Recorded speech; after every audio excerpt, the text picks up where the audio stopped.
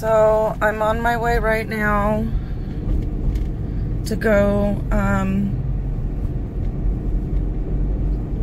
to go get Macho to to see if he can come home with me. The doctor has to go over, I guess, some things with me. Um,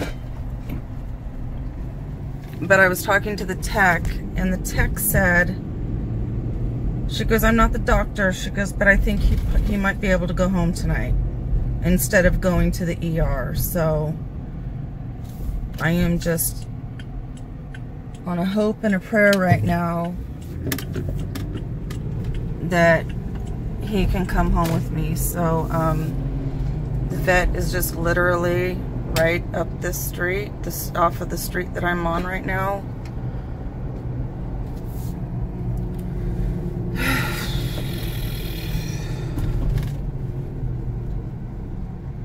Been on pins and needles all day.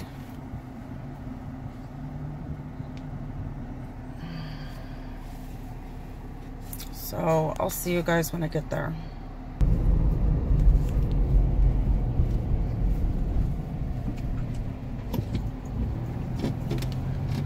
Here's the vet right here, vet's office.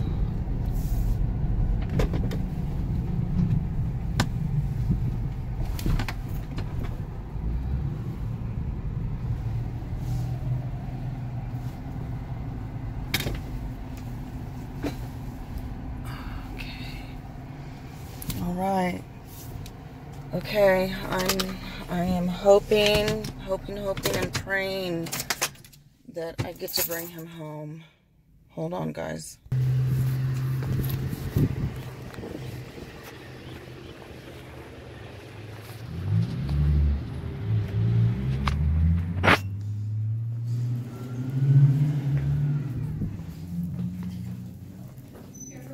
Yes.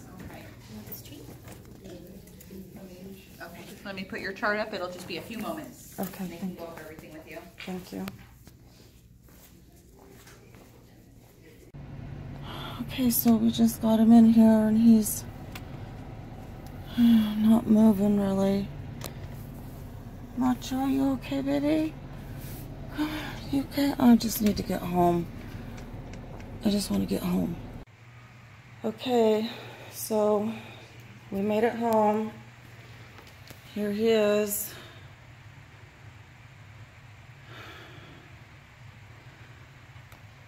Here he is. So I have to go get his um and they they gave me they gave me, you know, one of these big cones right here. Um but I have one of those blue inflatable ones from when he got fixed. So I need need to grab that really quick. I think I put it in here. Oh, where could it be? Great. Oh, I know where it is. Hold on, guys.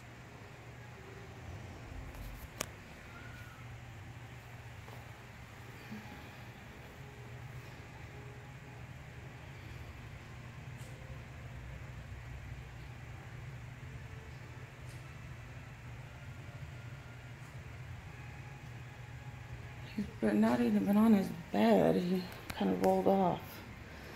I still gotta. Where did I put that inflatable thing? Oh. Okay, well, I can't find his um, blue inflatable cone. I will, but I put this dumb plastic, the, the cone of shame on, and Arashi is really concerned with him. But um, I don't know if, I don't know how much I got of you hearing the, the vet talk, but she left it up to me whether or not I wanted to take him to the emergency room tonight or not. I'll stay up all night with him.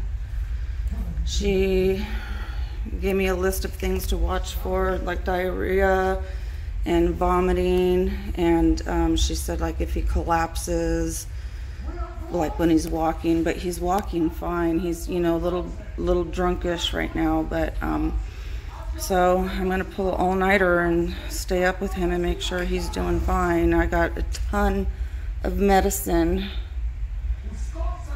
a ton of medicine, but overall. Oh, and they found, um, let me show you. I don't, they found it was a hoof. It wasn't, it was not a pit like I thought it was. It was, um, this is the food I have to feed him for the next 30 days. This is my bill. Um, what was I looking for? I'm so distraught right now. This is what they found in him, lodged in his intestine.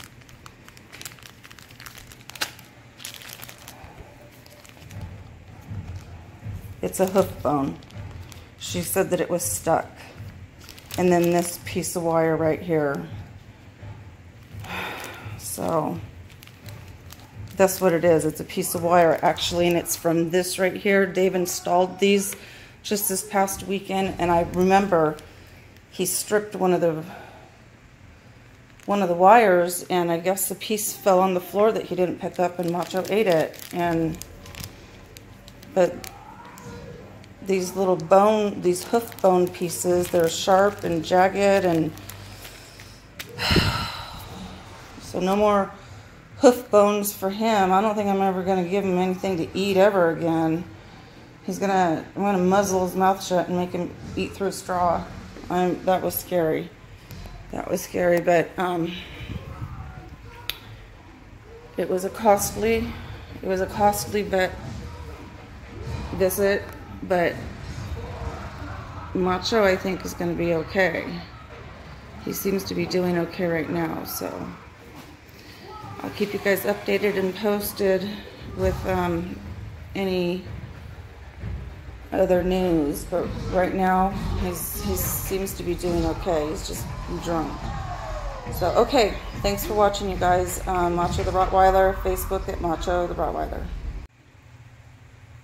Just one more thing before I actually sign off. I want to um, thank you guys for all your prayers and support and your comments and your kind words.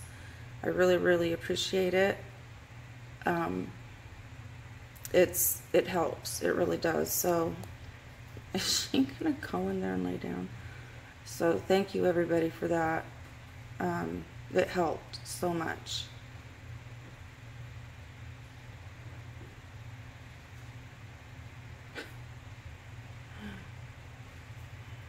She's comforting Macho.